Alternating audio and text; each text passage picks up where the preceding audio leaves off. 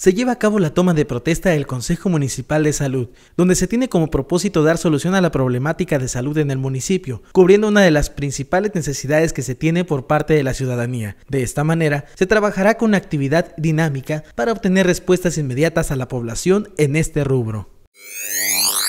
Cientos de ciclistas atravesaron esta ciudad con el afán de llegar a su destino, visitar el santuario del Señor de los Milagros en Nuevo San Juan Parangaricutiro, provenientes del Estado de México y del Estado de Hidalgo.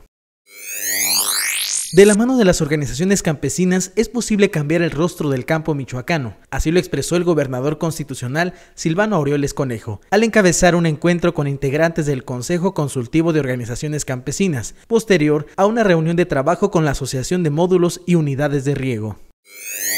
El coordinador regional de incendios forestales de la Comisión Nacional de la Forestal, Juan Antonio Moreno Centeno, informó que en esta semana llevan 32 incendios con una superficie afectada de 159 hectáreas. Fíjate que hasta el miércoles pasado se hace el recuento cada miércoles, ahorita están haciendo el recuento de lo que se acumuló esta semana. En la semana pasada llevamos un total de 32 incendios con una superficie afectada de 159 hectáreas.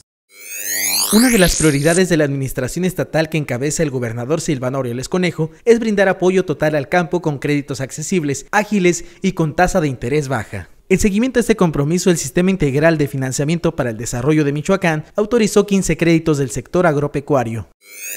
Durante la presente temporada vacacional se ha incrementado considerablemente la entrada de visitantes a la unidad deportiva Hermanos López Rayón, señaló el administrador Ildefonso Mora Guerrero. Bueno, este, precisamente desde el día de ayer vimos que ha estado creciendo la, afluencia, la afluencia aquí a la unidad deportiva como todos los años, como siempre ocurre. Esperamos, eh, esperamos que, la próxima, que los próximos días eh, de Semana Santa este, se incrementa, desde luego gente que viene a la alberca, gente que viene a hacer algunas actividades eh, de, convivencia y actividades deportivas y sí esperamos que, que haya buena afluencia este, este fin de semana.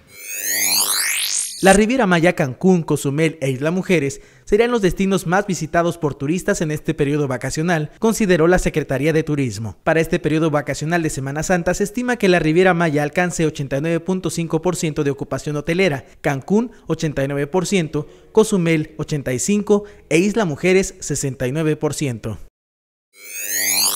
El director de Salud Municipal, Arturo Quiroz Tajimaroa, destacó que una vez ya tomada la protesta del Consejo Municipal de Salud, lo que se implementará es un taller intersectorial para la elaboración de un diagnóstico de salud en el municipio. Eh, para poder elaborar un diagnóstico municipal de salud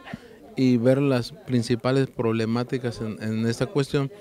y poder dar hacer prioridades en ciertos aspectos donde tengamos que aterrizar pues los recursos que, con los que cuenta el ayuntamiento, los recursos con que, cuesta, con que cuenta la jurisdicción sanitaria 05, los recursos con que cuenta el IMSS y todas las instituciones que están involucradas en, en este consejo.